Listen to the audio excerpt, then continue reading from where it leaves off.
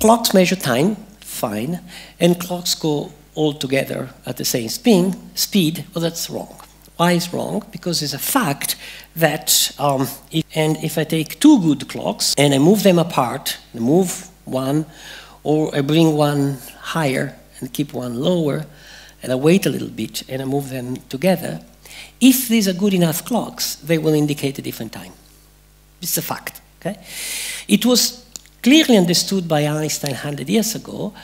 Uh, so, in a sense, we've, we've been knowing this uh, for 100 years. But it's recent uh, that we actually have good clocks, not these, that uh, we can measure this. And today, with uh, atomic clocks, so with these clocks, you can take two clocks at a um, different of altitude of uh, 40 centimeters, 50 centimeters, and measure that. So the clock up here goes faster than the clock down here. There's more time here. Your, your head is older than your feet. Why is still this hard for us to digest?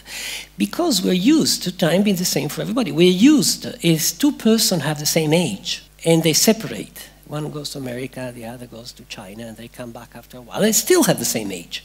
Right? That's our experience.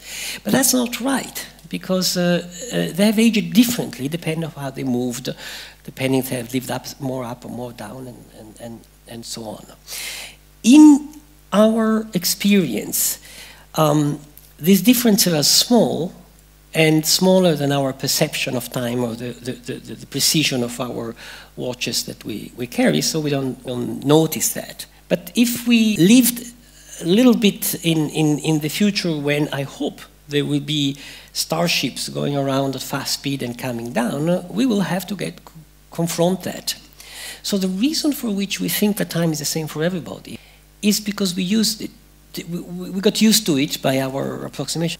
We live in a region in which the difference of time is small, so we're not used to this. So it's not, there isn't a single time in the universe. Already there are many times.